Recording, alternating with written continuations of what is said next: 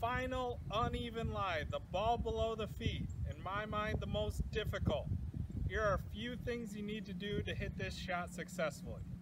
So with the ball below your feet, you really need to make an effort to squat down to get down to that ball.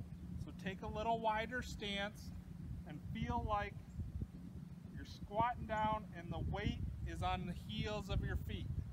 Okay? We are going to try to maintain that knee flex and our posture throughout the swing.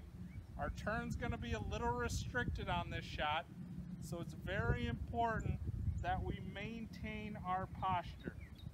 And then lastly, it's gonna the ball's gonna go with the slope. So we're gonna aim a little left to let that ball fall a little to the right as it comes down.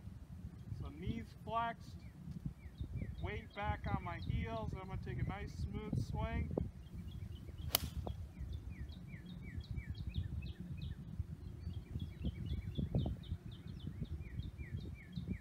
All right, perfect.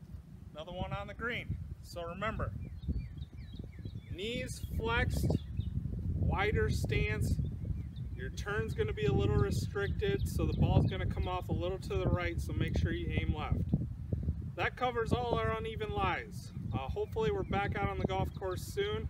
Uh, looking forward to seeing you all, and let me help you play better golf. Thank you.